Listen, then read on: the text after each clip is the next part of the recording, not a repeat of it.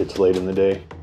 You've just installed your inverter and ready to go home, but this light keeps blinking.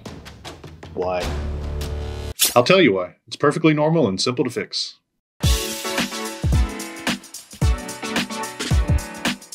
So as mentioned, this is a normal situation when you first install an inverter, something like the Eli 250 or the 400.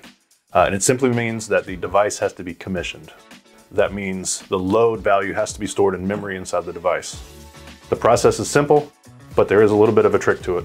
What you want to do is press the switch long enough to where you hear the relays click and the unit go into emergency mode. Then you're going to do that a total of three times. You'll see. So press, hear the click, let go.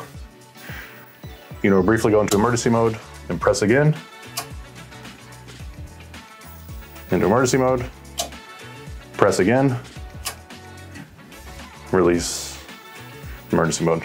Now in a second, the unit's gonna go into a 30 second self-test. During this 30 second self-test, it's going to look at the load and store the power level that it sees and that'll be the commission value. If the load deviates by more than 10% plus or minus during future self-tests or emergency operations, it will alert you that there's a change in the load and there's a potential problem.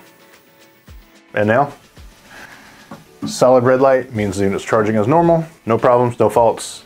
It's been commissioned, uh, it's ready for duty. That's it. Thanks for watching.